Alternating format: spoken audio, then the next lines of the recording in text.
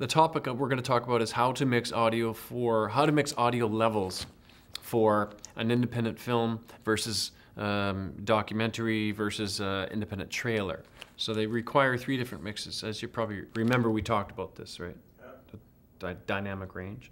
First thing is dynamic range of the different media.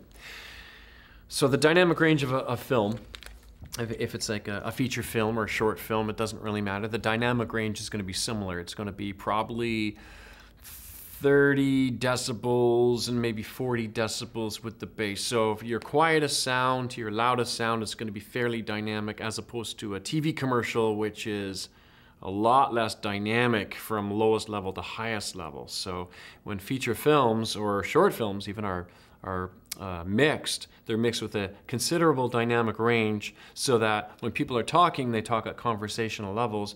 And when there's a loud sound effect, it's enough to jar you out of your seat because you're watching hopefully in a theater, so you can get that kind of effect. When a commercial is mixed, it's mixed with very little dynamic range, and therefore there's nothing up here competing. So you can push the whole level up higher and the whole thing appears louder. So let's go back to like uh, you're mixing your own film soundtrack. You want your dialogue to sit around conversational levels, which we would normally hear at around 60, anywhere from 58 to 63 decibels. We'll say 60, 63. I like 63 decibels or so for dialogue.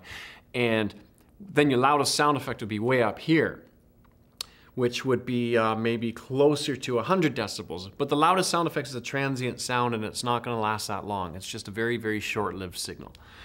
The music is somewhere in between, but you have your dialogue as a reference and you have your loudest sound effect up here and your music somewhere in between. So there's no real gold standard of where to mix dialogue, but the idea is when people are sitting and watching a, a movie, you want to have dialogue at a consistent level so people understand all the dialogue. You can't mix your dialogue too low because it's going to be in the noise of the uh, people in the theater. They're going to be making popcorn noise and stuff like that, shuffling around and coughing and whatever. Dialogue's got to be above that.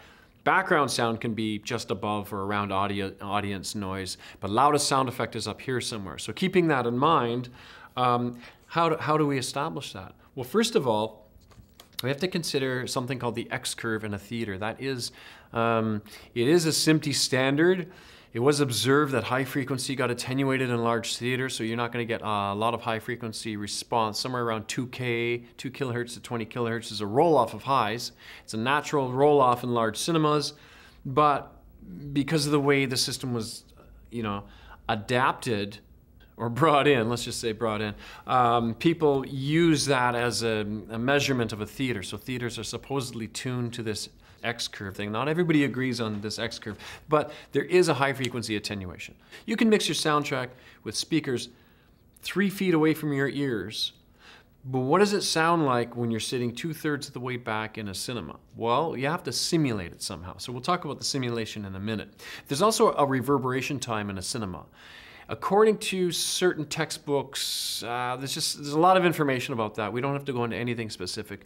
But one textbook, for example, on designing cinema sound says that uh, typical large cinemas might be just under a second of reverb time, so 0.85 seconds, somewhere around there. So there's going to be a little bit of reverb time, and it's going to be a warm reverb meaning more bass frequencies are going to reverberate than high frequencies. Because if you look around your typical cinema, which you guys have probably seen, right, you'll see um, all the seats are plush.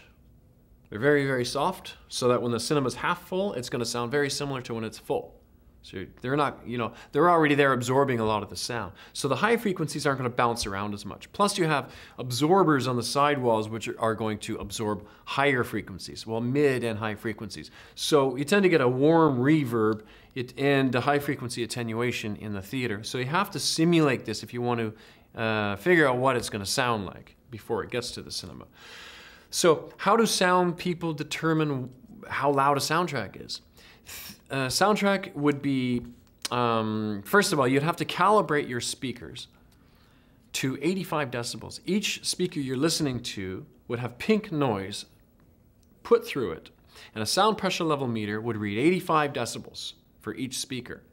Once that's done, your speakers are at a set level based on where you are sitting, so that when you mix dialogue, it's going to be somewhere under 85 dB, and when you mix loudest sound effect, it's going to be somewhere over 85 dB. They shouldn't be too close, yet they shouldn't be too far. So it shouldn't be too compressed or it shouldn't be too dynamic. It's got to be somewhere in there. So it's kind of, uh, you get a feel for it. The only real way you're going to know how a soundtrack is going to sound in a cinema is if you mix your film soundtrack in a cinema. That's it. That's the only way you're going to know, really. But what's cinema? They're all a little bit different.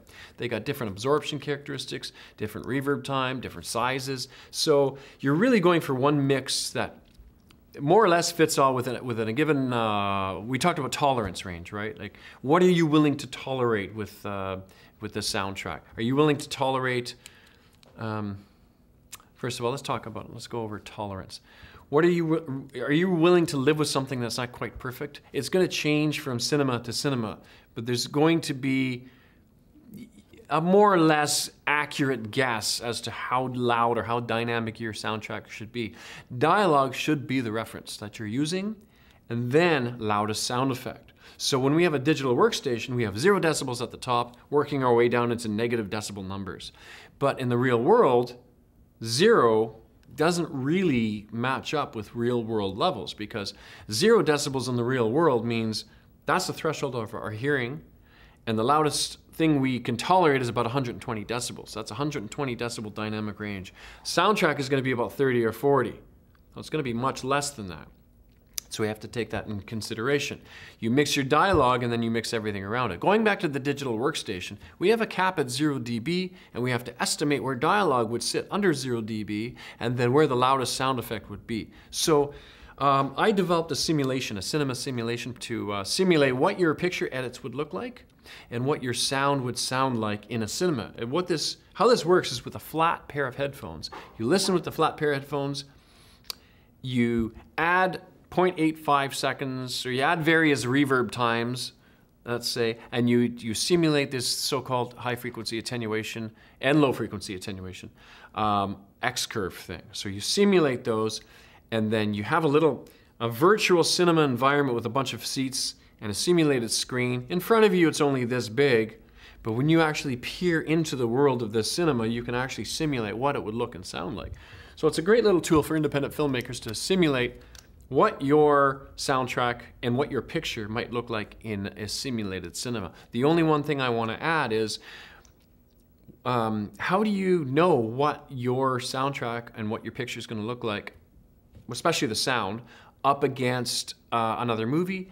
you put another movie into the program. You don't touch anything and then you put your soundtrack. So you'd have to get a clip or something from your favorite movie, the one you want to design around, as a reference, and then mix yours according to that reference. And you can make uh, some good estimations about how loud your audio and should be and how it might sound in a cinema.